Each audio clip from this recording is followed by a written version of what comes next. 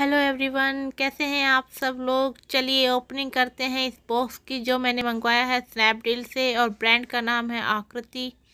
मैंने आकृति ब्रांड से मंगवाया था ये बॉक्स जो कि आपने थंबनेल में देख ही लिया है कि इसमें विष्णु के दस अवतार के आइडल हैं। ये आइडल यानी कि मूर्तियाँ हैं और ये मूर्तियाँ हैं ब्रास की जो मैंने मंगवाई है और ये कुछ इस तरीके की पैकेजिंग में आया है।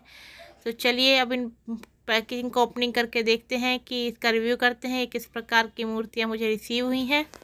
और ये भगवान विष्णु के दस अवतार हैं तो चलिए एक एक करके सभी अवतारों को हम रिव्यू करेंगे और मूर्ति की क्वालिटी देखेंगे।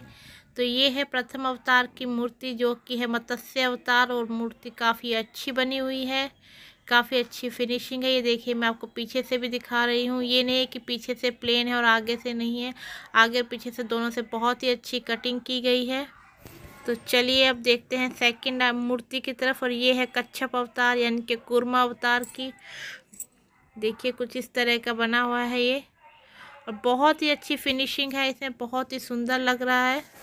चलिए आगे बढ़ते हैं और देखते हैं तीसरे मूर्ति की तरफ़। ये है तीसरा अवतार जो कि वरा अवतार लिया था भगवान ने। ये उसका आइडल है, मूर्ति है जो कि बहुत ही सुंदर कटिंग के साथ बना हुआ है। बहुत ही अच्छी फिनिशिंग है, बहुत ही सुंदर लग रहा है। और इसके बाद देखते हैं हम फोर्थ। और ये है नरसी भगवान भगवान का नरसी अवतार, जो कि बहुत ही सुंदरता से बना हुआ है।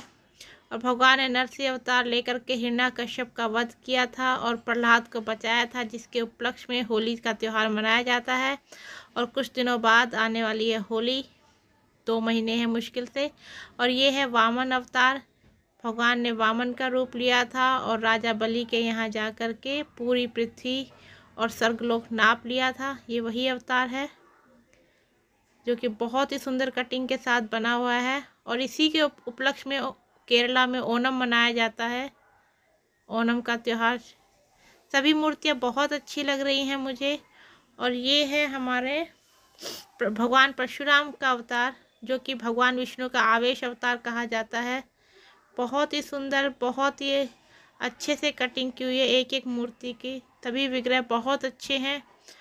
और अब हम चलते हैं सबसे सुंदर राम अवतार की तरफ़, जो कि मर्यादा पुरुषोत्तम भगवान श्री राम का अवतार है। और देखिए कितना सुंदर, कितनी अच्छे से कटिंग की हुई है इन अवतारों की। बहुत ही सुंदर विग्रह है। मुझे बहुत अच्छा लग रहा है ये सब देख करके। और ये है भगवान श्री कृष्ण विष्णु के सभी अवतारों में मुख्यतः सोलह सोलह कला संपूर्ण भगवान श्री कृष्ण, जो कि बहुत ही सुंदर बने हुए हैं, बहुत ही अच्छे से हैं, ये कटिंग की हुई है इन मूर्ति की।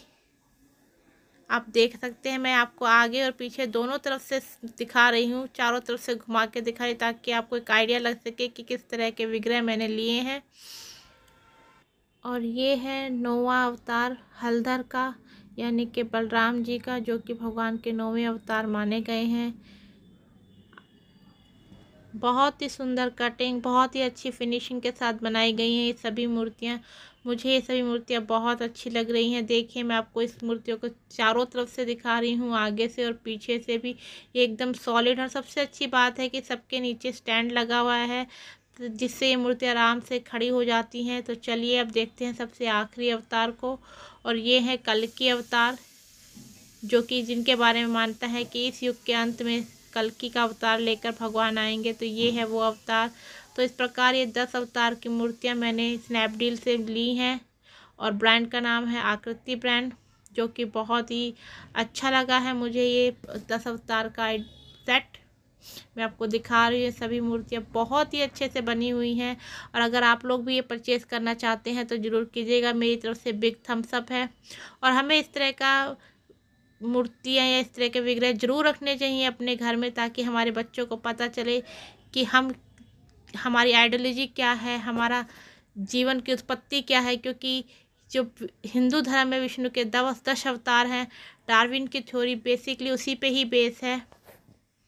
अगर आप में से कोई साइंस के, बायोलॉजी के स्टूडेंट होंगे तो उन्हें पता होगा कि डार्विन की थ्योरी मत्स्य अवतार यानी कि जलचर से शुरू होती है और आखिर में कल के अवतार तक यानी कि कलयुग पे ही समाप्त होती है। तो ये सेम हमारा जो हिंदू धर्म है, वो बिल्कुल उसी थ्योरी को ही बताता है।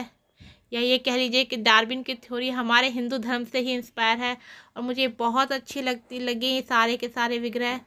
तो मिलते हैं फिर एक नई वीडियो में। तब तक के लिए हरे कृष्णा राधे राधे और हँसते रहिए मुस्कुराते रहिए।